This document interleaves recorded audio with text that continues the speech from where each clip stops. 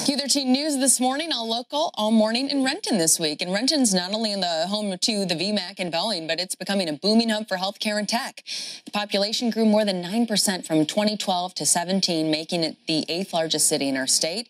It's only growing more in the coming years. One of the major draws to Renton is Renton Technical College. In fact, nationally, it is recognized as one of the best two-year colleges in the whole country.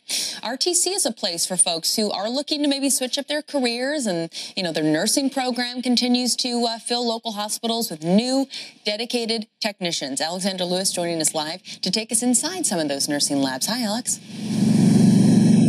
Good morning. Yes, so the need for medical personnel in Renton is growing, and that is certainly reflective inside the classrooms of the nursing program here at RTC. And we want to take you there. We have some videos. What we're showing you here, there are three separate rooms. You've got the uh, nursing skills lab and then two simulation labs. These rooms usually run, what, 14 hours every single day, arming these students with the skills they need to work inside any hospital in the area within two years, all done with state of the art equipment.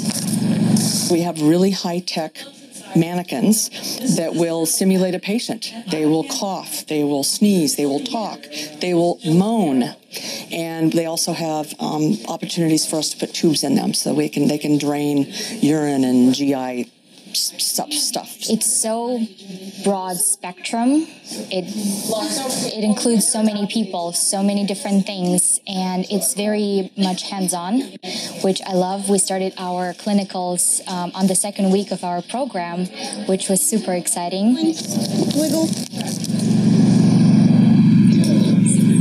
No time is wasted at RTC. RTC's nursing program has two tracks, a short-term program and a two-year program providing an associate's degree. Now, after graduation, a lot of these students get jobs right up the road at Valley Regional or one of the other many local medical facilities right here in town. And this is a uh, very interesting and fun fact here. In fact, Valley Regional is in the works of creating its brand new simulation lab that would just be for these students. That is huge. In the nursing world. So this could be um, uh, big moves happening here at RTC for these nursing students. Reporting uh, here in Renton this morning, I'm Alexandra Lewis. Going to toss it back to you in the studio. All right, Alex, appreciate you being out there. Thank you. So. Uh,